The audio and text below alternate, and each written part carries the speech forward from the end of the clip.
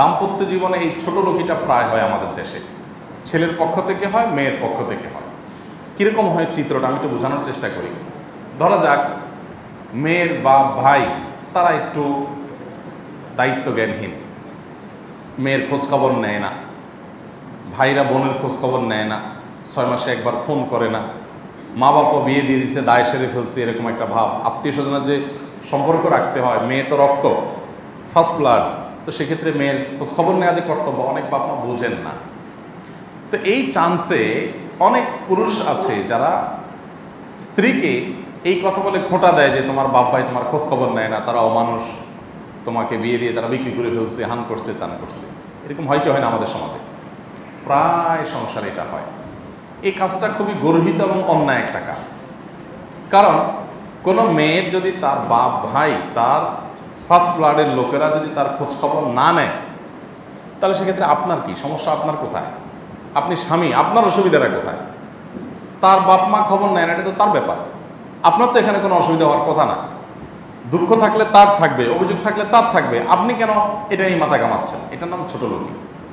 এটা হলো মেয়েকে অহেতুক বিরক্ত করা। একই কথা, মেয়ের পক্ষ থেকেও হয়। ছেলেকে বলে হ্যাঁ তোমার ভাই তাদের জন্য অনেক কিছু করলা, তারা তোমার জন্য কি করল? এটা তো কমন একটা আইটেম আমাদের দেশে। মহিলারা এটা বলে। আরে বাবা, আমি অনেক কিছু করছি। আমার বাপ ভাই, তারা নিমুখ হারামি করছে। আমার পাল্টা কিছু করে না আমার জন্য। এটা আমার সমস্যা। তোমার কেন সমস্যা হচ্ছে? আমরা দাম্পত্য জীবনে টেনে টেনে ঝগড়া করি। আইটেম বাইর করি ঝগড়া। অহেতু আরে ভাই, আমি আমি স্বামী হিসাবে আমার স্ত্রীর কাছে আমার কি প্রাপ্য আছে, সেগুলো নিয়ে আমি কথা বলতে পারি। তার সাথে তার বাপ মা কি আচরণ করল, না করল, এটা তো আমার আইটেম না, এটা তো আমার হেডেক হওয়া উচিত না। আমাদের দেশে ওই যে যৌতুকের মানসিকতা তো এই জন্য শ্বশুরবাড়ির কাছ থেকে শুধুমাত্র যৌতুকই আশা করে না, ওই বউয়ের সাথে ভালো আচরণ করল কিনা হে আশাও করে। এটা কাইন্ড অফ যৌতুক। তা না হলে আমার বাপ মা আমার খোঁজখবর নিল না, আমার বায়ু এটা তোমার মাথা ব্যথা করার দরকার কি? বেশিরভাগ মানুষ এই অহেতুক বিষয় নিয়ে ঝগড়াঝাটি করেন এগুলো ছোট লোকের রীতিমতো, এগুলো করা উচিত না। বরং আমি তো উল্টা বলব, একজন মেয়ে মানুষ তার বাবার বাড়ি থেকে খোঁজখবর নেয় না, তার বাইরা খোঁজখবর নেয় না, বা তার প্রতি অবিচার করে, বা তাকে ইগনোর করে, তাহলে মেয়েটার তো মন খারাপ নিশ্চয়ই। সে তো সুখে নাই, কারণ তার বাপ ভাই তার খবর নিচ্ছে না, তার কাছে তো কষ্ট হচ্ছে। তাহলে স্বামী হিসাবে তো আমার দায়িত্ব হলো এই মেয়েকে সাপোর্ট দেওয়া, যে আরে তুমি কোনো টেনশন করিও না। সব মানুষ একরকম হয় না, হয়তো তারা ব্যস্ত আছে, যাও, সবাই একরকম হয় না, হয়তো তারা একটু অসামাজিকই। আলহামদুলিল্লাহ, আমি তো আছি, আল্লাহ ভরসা। এটা না হওয়া উচিত।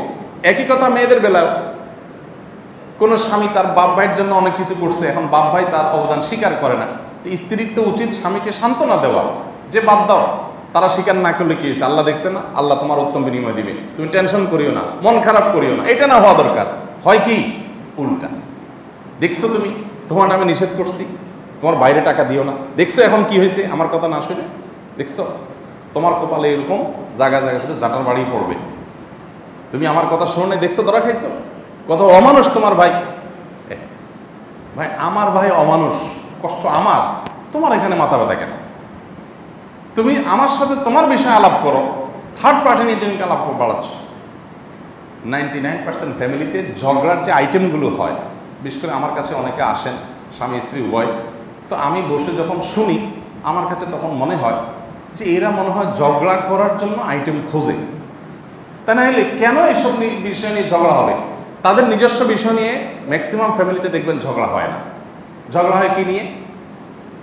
ছেলেকে বলবে, তোমার মা এটা কেন বলল? মেয়েকে বলবে, তোমার মা কেন আমাকে এটা করল না?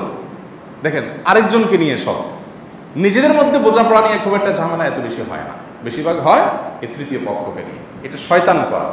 এগুলো ভুল এবং অযৌক্তিক এবং অনেক ক্ষেত্রে ছোট লোকই। আমরা এই সমস্ত ক্ষেত্রে দায়িত্বশীল আচরণ করব, আল্লাহকে ভয় করব, আল্লাহ আমাদেরকে সে তফিক দান করুন।